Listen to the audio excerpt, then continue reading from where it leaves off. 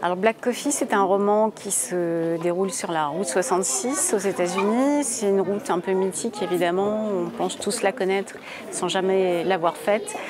Et donc, pour préparer mon roman, je suis allée faire la route 66 en famille. Et de ce repérage, euh, finalement, la matrice du roman a été euh, profondément bouleversée. Donc, j'ai pas du tout écrit le roman que j'étais partie écrire là-bas. Je suis revenue avec des biscuits très différents, des ambiances, des saveurs, des odeurs, des sensations, et même un personnage qui s'est construit euh, au fur et à mesure de la route, qui est le personnage principal du roman, Lola Lombard.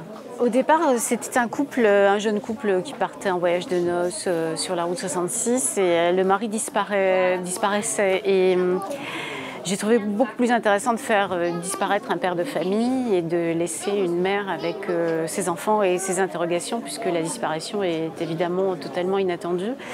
C'est un peu le, pendant du euh, je suis sortie chercher des cigarettes et je ne suis jamais remontée. Là, c'est un, homme qui va déposer du linge sale dans une, dans une laverie à Williams, qui est une petite ville d'Arizona, et qui ne reviendra jamais.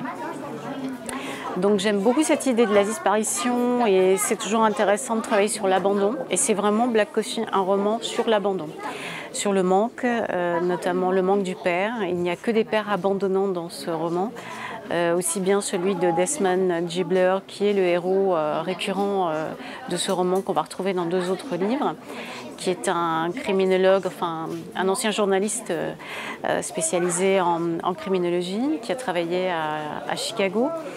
Euh, et, Lola Lombard, elle, elle fait face à ce père abandonnant puisque le mari de ses enfants a disparu. Black Coffee, c'est aussi un roman sur un autre mythe. Il y a la route 66, mais il y a aussi euh, celui du tueur en série, puisque c'est vraiment le pays des tueurs en série.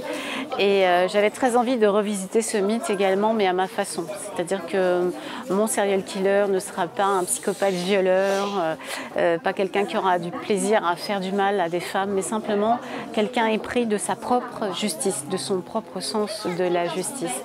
Et je trouve beaucoup plus intéressant de travailler sur des violences psychologique, euh, sur euh, la façon dont parfois les femmes sont manipulées euh, par leur cœur, que sur une histoire de démembrement supplémentaire.